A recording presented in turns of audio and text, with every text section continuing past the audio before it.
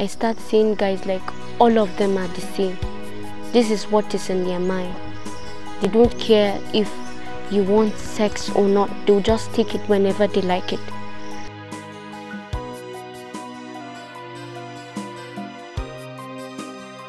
A 2010 survey on sexual harassment in Nigerian tertiary institutions revealed that 69% of the female respondents had been sexually harassed.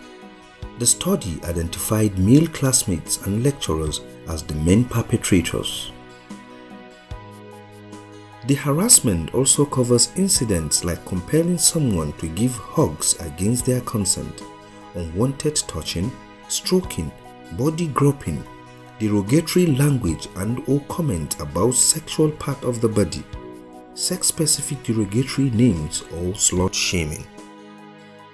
It could also involve unwanted display or discussion of pornography and display of sexual pictures, videos, cartoons or sexual jokes. Sexual harassment along with other forms of gender-based violence like rape, infliction of body injuries and more are ways through which the bodily integrity of female undergraduates in Nigeria is violated.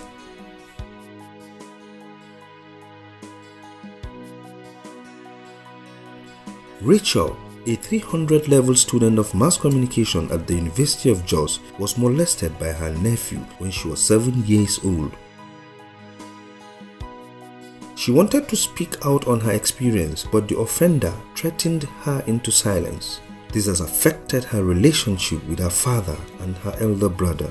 There was this fateful day that every, nobody was in the house. It was just me and the guy. My we usually call her mom. My mom went went to church. Her husband went out and was just us. I didn't even know where my brother and the other kids went to. It was just the two of us. And I was in my room. It was the rooms were two. The boys sleep in a different room and then the ladies in a different room. I was in the ladies' room when he came in, started approaching me. He came close. He was he was speaking. He was saying some stuff that I didn't understand. I was I was seven. Okay. Yes.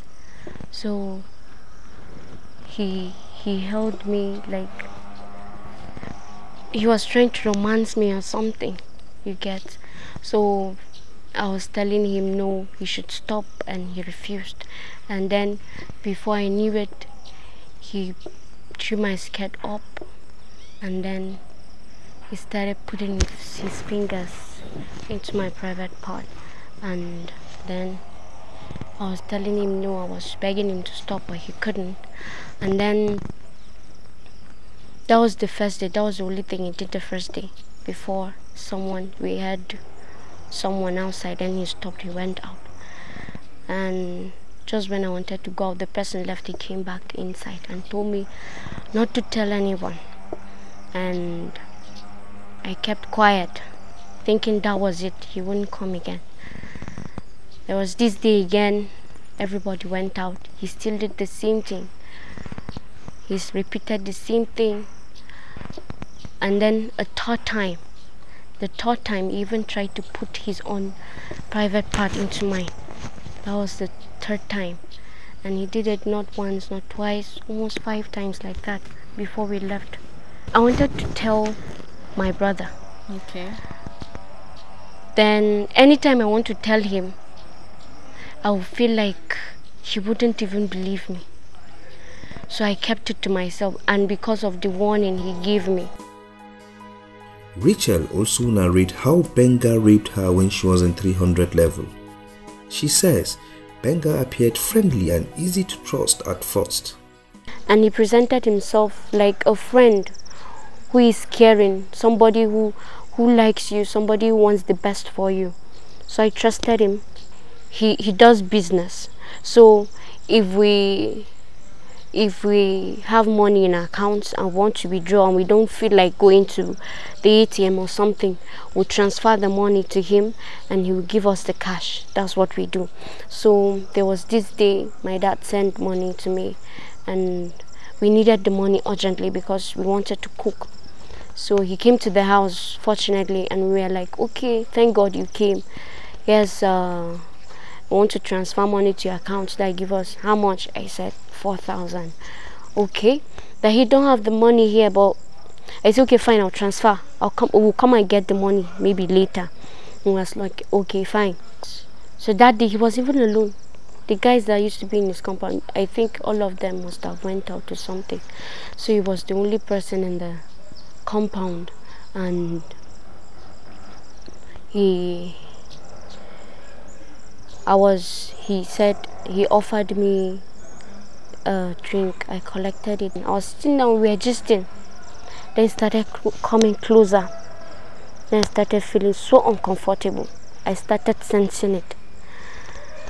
I just I was just looking at him. I hope this guy is not going to do anything funny here he was trying to kiss me and then I tried pushing him he kissed me and then I asked him to stop. No, I don't like this kind of thing. It might lead to something that I might not like.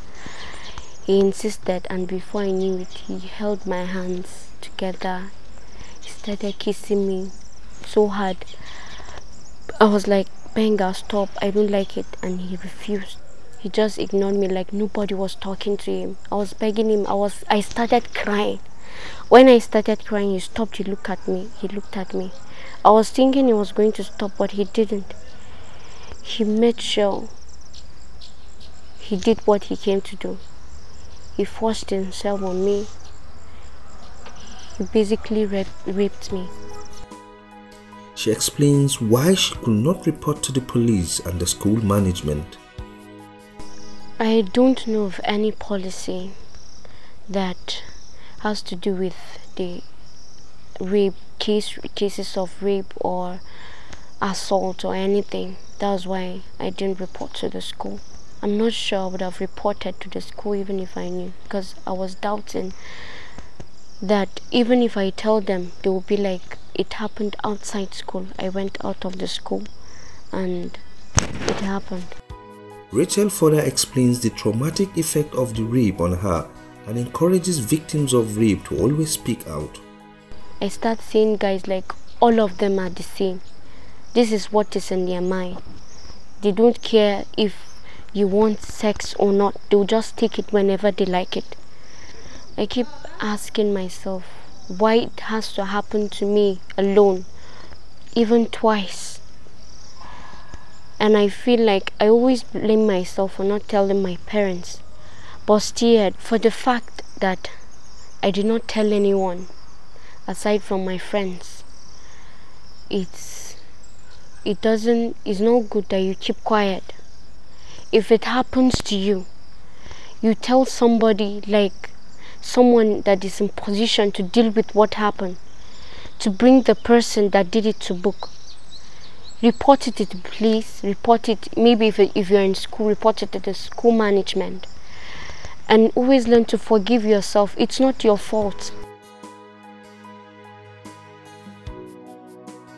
Findings by Premium Times in over 25 universities and other institutions shows that there are no clear policies against sexual harassment in schools and lack of clarity in universities' handbook also makes it difficult for victims to report their cases. I'm really not aware of any policy in my school about that. I don't go asking if there's any policy against anything. I just want to be fine. Like that's the only thing I want. He knew, he knew his way. He knew how to maneuver everything. So partly because of that, and also because the university itself is corrupt, the staff is corrupt, everybody is corrupt. In fact, it was, it was. I mean, I, I regretted going to that university. Everybody is corrupt. All of them are just, you know, they are just perverts. These victims are often left with depression and feelings of insecurity on campus, and sometimes, when they don't drop out of school, they fail important courses. I came out with a tutu because of a simple person, you know. I wasn't feeling too well about that, you know. I felt like I felt like I wasn't being appreciated. I had my life planned out, so when I didn't get the desired grade, I felt you know, I felt like a failure. I did not sleep with him and he gave me B. at the end of the day, I came out with a tutu. I had so many regrets. I don't know. I just had so many regrets about everything. And I just had to put the pain behind me and give life the best it can offer. I don't want to remember everything. Amid this, schools justify the absence of clear policies in their handbooks. Before now, the university had handbooks, and of course, we wouldn't have expected that anything like sexual harassment would come and be this and be this prominent now. So, but what we're doing now is to try and uh, streamline everything to suit the current realities on ground. The annoying part of it also is that you find out that in some departments you even have a syndicate of people who do this. So if a student is having an issue with one person, it is not just that one person. And if she tries to report to another person, another of the lecturers, you may even find out that he is part of that syndicate uh, that are perpetrating this crime. So I don't think it is good and something that not, should be condemned. And uh, the perpetrators should also be punished severely or even dismissed from the university. Gender activists said sexual harassment in institutions is likely a replica of what is obtained in the society. What you see is young men, lecturers, you know, whether they are uh, within the system or outside the system or they are non-academic staff, you know, taking the privileges that they enjoy outside, the impunity they enjoy, you know, when they violate women and they do not face any consequence. They take that feeling, that that that confidence into into the tertiary institutions or into whether it is a polytechnic or university, continuing the violation.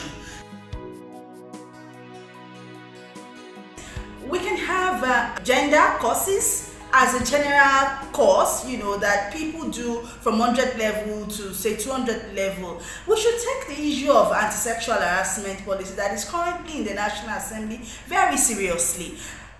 Um, management should be very, very honest about implementing sexual harassment policies that they have in their schools. I think by the time we do some of these, these things and more, we would have uh, a, a safer institutions for young women. Professors and students don't have the same power dynamics, you know, professors hold the power you know in this relationship not just professors but admin staff as well that they hold the power in these situations and that something must change. And that includes not just putting, putting policies in place but it's also about ensuring that when somebody reports something is actually done because I want to be able to say once you report something will be done. So we need somebody to hold universities accountable if it's the university's commission, if it's the governing council, whoever it is, they need to step up and ensure that schools see education just as important as safety and that they could lose if they don't keep their students safe. Beyond implementing policies, they suggest that universities authorities should organize more symposiums to discuss sexual violence and also introduce a course on sexual assault as a compulsory course for 100 level students.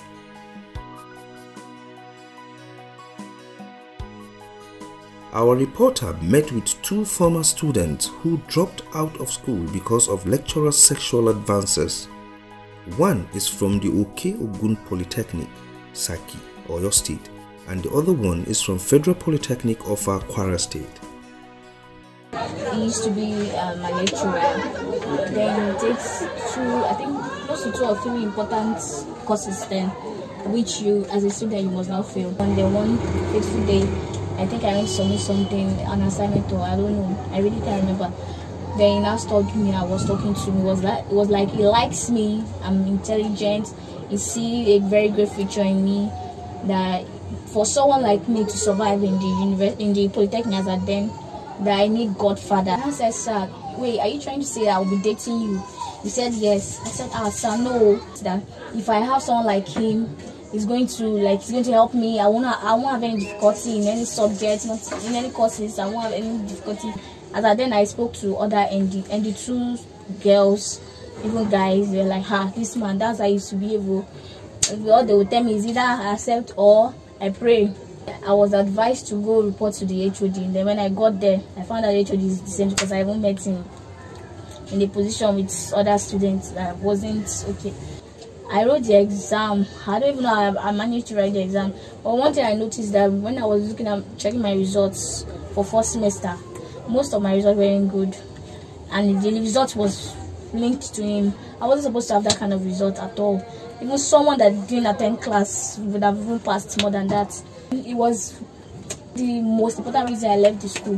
While Janet eventually got admission into the Federal University of Technology Owerri, Kafilat, who dropped out of the Federal Polytechnic Offa, has refused to go back to school after the traumatic experience she had in 2015. According to Kafilat, a lecturer in the Department of Mass Communication and an examination officer made sexual advances which she refused. The woman, who was in her early 20s then, said the lecturer gave her a lift on that fateful day but drove into a hotel room demanding sex. Kafilat said although she escaped from the hotel that evening, her action landed her carryovers in two courses including the one handled by the lecturer. Her failure of the two courses, which she traced to the refusal of the sexual advances, made her to quit schooling. Never in Nigeria, if at all I want to continue, she said. We have a unit in place, SERVICOM unit. The one of the uh, let me see, one of the functions of SERVICOM unit is to go around. Then, if any student have complaint on issues on that border on sexual harassment or other things, they will go there and the SERVICOM unit are always investigating. In fact, they, they act very promptly to investigate when there are cases like that.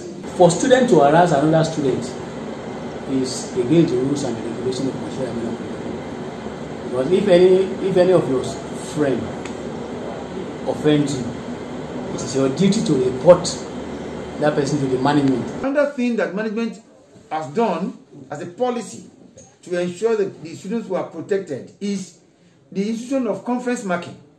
Conference marking means you can teach a course. You can teach a course, but may not be the one to mark. You may put a, you may you may you, you may teach a course, but somebody else will mark. Meanwhile, despite the overwhelming rate of sexual harassment in schools, the authorities of three polytechnics approach denied recording any case of sexual harassment in recent years. However, while they claim they have strict measures in place, a review of their handbooks showed no clear-cut policy on sexual harassment in these institutions.